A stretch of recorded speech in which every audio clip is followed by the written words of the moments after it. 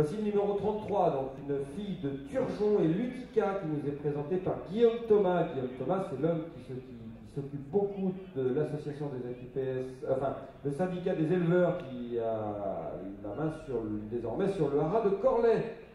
Lutica, une fille de Canoudal. Sachant qu'on trouve euh, comme père de troisième mère l'aniste. Ça, c'est quand aussi grand chef de race que ce laniste. Lutica, donc, cette fille de Cadoudal, qui nous est présentée par Guillaume Thomas, qui habite dans les Côtes d'Armor, a déjà donné naissance à une agrée, gagnant à Nantes. Gagnante, donc, du coup, une femelle de, de, de.